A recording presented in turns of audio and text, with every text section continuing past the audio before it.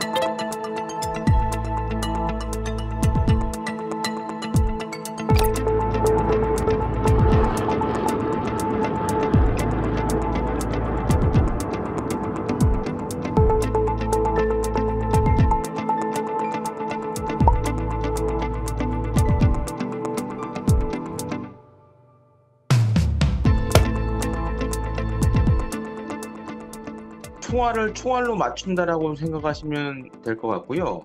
국가 중요 시설 혹은 군사 중요 시설 그리고 인구密지 시설을 방어하는 데는 효과적인 무기이기 때문에 북한의 장서주풍처럼 어, 수- 수십여 발 혹은 수백여 발을 쏴도 요격할 수 있는 어, 그런 기술들을 지속적으로 업그레이드하고 있는 상황입니다.